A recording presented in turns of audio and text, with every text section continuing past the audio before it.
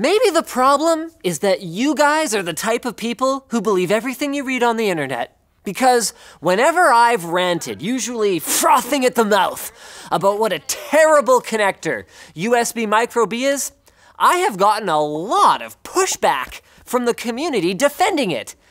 You guys point out words you've read, like that it's rated to 10,000 insertions and extractions, which is 5,000 more than any of the USB mini ports that preceded it, and that it was specifically redesigned to wear out the cable rather than the device, so your fancy $1,000 smartphone doesn't turn into a fancy $1,000 paperweight. But me, I think that MicroB especially the USB 3 variant that showed up briefly on Samsung phones, isn't that durable. I think this whole thing is a lie propagated by big USB. I think in the real world, Micro B breaks before it's been inserted 10,000 times. And I am gonna blow this thing wide open.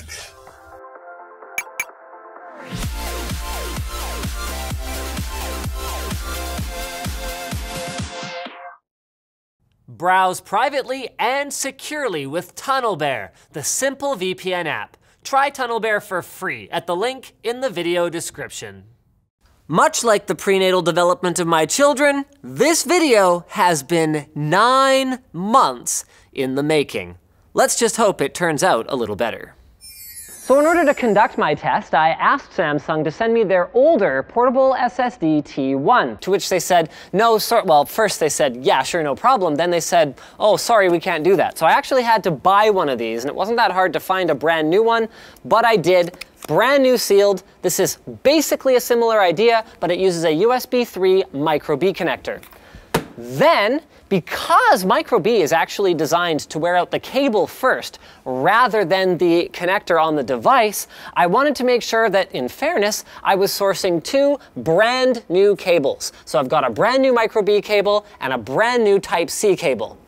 The methodology here is I'm going to take these two SSDs. This one is brand new, never used too, by the way. I'm going to unplug and plug back in, let's say, you know, 50 to 100 times at a time and then I'm going to check them again and see if they work until one of them dies. So that's how it all started. In August 2016, I set out on the expedition of a lifetime. I began with sets of 50 insertions, making entries in my journal between each set. By the first 100 insertions, both connectors had lost their like new stiffness.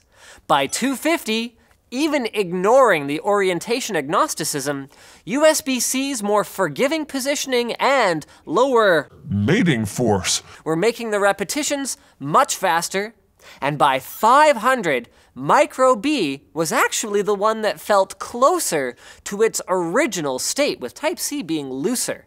But neither connector was showing any signs of giving up the ghost, and I have to say, the tedium of the journey began to take its toll.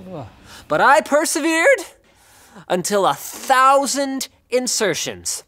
By this stage, USB-C's noticeably looser feel made it a welcome break from the micro B connector that seemed to be grabbing more stickily than ever before. And I began to think that maybe my bad experiences with it had less to do with raw cycle durability and more to do with everyday wear, like sitting plugged in for an extended period or getting wiggled back and forth while being moved around.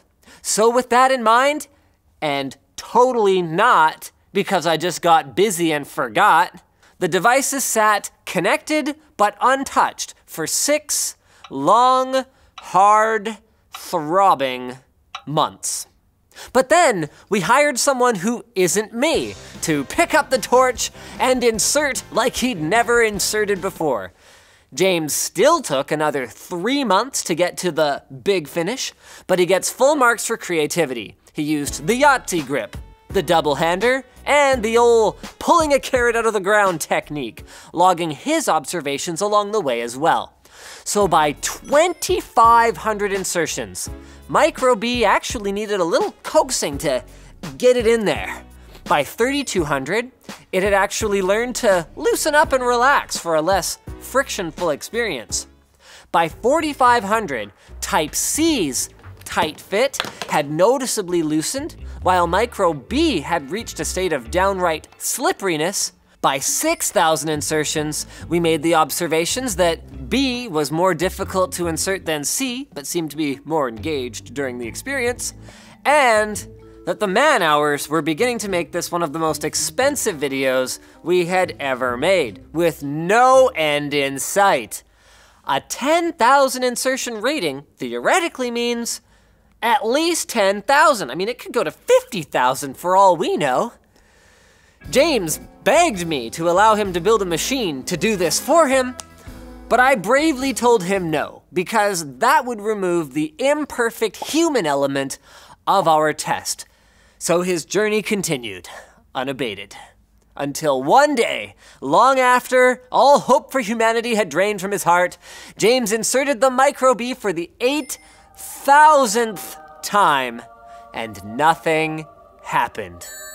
The machine didn't recognize the device anymore. So then, after 8,000 insertions, the USB Type C drive is working perfectly with a connection feel that I would actually go as far as to still trust, but the Micro B is toast at only 80% of what it was theoretically rated for. And we tried a brand new cable to see if, per the spec, it was actually the cable that died first. The cable is mangled, but still works, leading us to the conclusion then. This is a sample size of one. So apart from knowing the approximate number of insertions, somewhere between 7,900 and 8,000, that it lasted before breaking, it's really not any more meaningful than someone else's anecdotal evidence that their connector failed. We haven't demonstrated conclusively that Micro B is overrated, but I feel like what we have added some strength to is that on top of its reversibility, extra pins for added functionality, and yes, excellent durability, Type C is truly a worthy replacement. Ting is the mobile carrier that's focused on customer service and customer satisfaction. I know, it's crazy. But for real, you call them and you talk directly to a person. And the bills are even cheap. You only pay for the data and voice service that you actually use, with the average Ting bill coming in at about $23 a month per device. They'll even cover 25% of your cancellation fee if you're stuck in a contract, and they have lower mobile data rates than ever at just $10 a gig beyond the first gigabyte. Every single Ting customer will get to reap the benefits of this new change, even existing ones, and if all this sounds too good to be true, well, you can validate it for yourself. Head over to linus.ting.com and try out their savings calculator. Enter your last few bills and how much you're paying, and it'll tell you if Ting will save you money. And if you sign up at our link, you'll also get 25 bucks in service credit or towards a new device. So thanks to Samsung for providing at least one of the drives we used for our testing, actually the surviving one, the other one we had to buy. Thanks to you guys for watching. If you disliked this video, you know what to do, but if you liked it, hit that like button, get subscribed, maybe check out where to buy the stuff we featured. This is Samsung's portable SSD T3 at the link in the video description. Also down there, is our uh, merch store, which has cool shirts like this one, and our community forum, which you should totally join.